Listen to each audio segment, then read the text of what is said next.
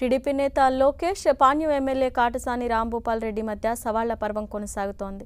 యువగళంలో భాగంగా పాణ్యంలో పాదయాత్ర చేసిన లోకేష్ స్థానిక ఎమ్మెల్యేపై అవినీతి ఆరోపణలు చేశారు. దీనికి MLA Katasani Rambhupal Reddy strong counter ఇచ్చారు. తనపై చేసిన ఆరోపణలకు బహిరంగ చర్చకు సిద్ధమా అని ప్రతి సవాల్ విసిరారు.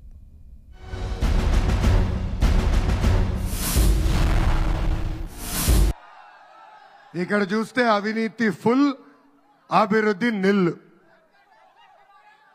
ఏ కొండ దొరికినా దోచేస్తారు. ఏ భూమి మీద కన్ను పడితే లాగేసుకుంటాడు.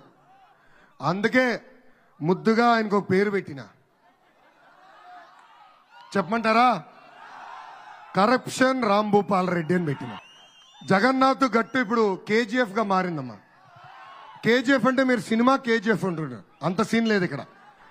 అది ఏకంగా కర్నూలు గ్రావెల్ ఫీల్డ్గా మారిపోయింది. ఈ కరప్షన్ రాంభూపాల్ రెడ్డి గారు అక్కడున్న ఎర్రమట్టి మాఫియాతో మొత్తం తవ్వుకుని వెళ్ళిపోయాడు. ఆఖరికి జర్నలిస్ట్కి ఇచ్చిన భూములు కూడా కొట్టేశాడు.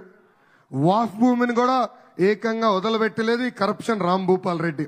నేను లోకేష్ ఒక బఫున్ మాదిరి చూశాను. వాడిని మామూలు ఒక రాజకీయ నాయకుడికి మాత్రం చూడదలుచుకోలేదు అని.